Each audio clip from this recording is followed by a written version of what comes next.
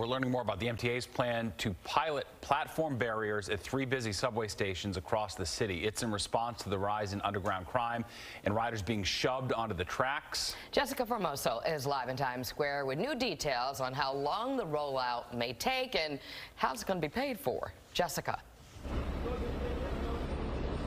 Good evening, Lori and Steve. The 7 line here at Times Square will be one of the stations that will get those platform doors. But this morning, during their MTA meeting, transit officials made it clear that even if the pilot program is successful, not every station will get the platform barriers. And that is because there are significant constraints like narrow platforms. Last year, there were 1,267 incidents of a person on the tracks, which is a 20% increase since 2019. Subway riders are ending up on the tracks, whether it's accidentally or because they're being shoved. There were tragically assaults and pushings.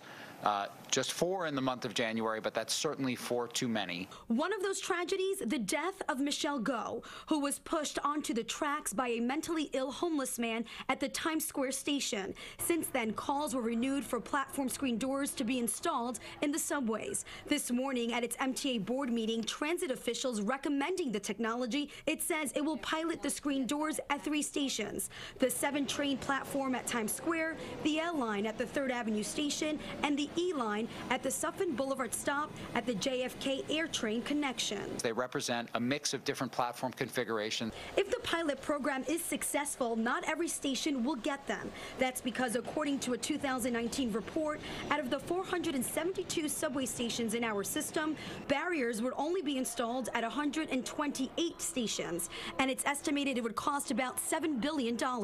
There are significant constraints that would prevent a system-wide rollout, including including primarily narrow platforms in our system that can't accommodate barriers while retaining ADA accessibility. Elevated platforms that can't support added weight of barriers and misaligned doors are also an issue at many stations. The MTA says it needs to examine some problems and come back with a plan for a capital project. If approved by the MTA board, construction on the doors could begin next year. I think we've been very open about the fact that we have to figure out how to fit this into the capital program.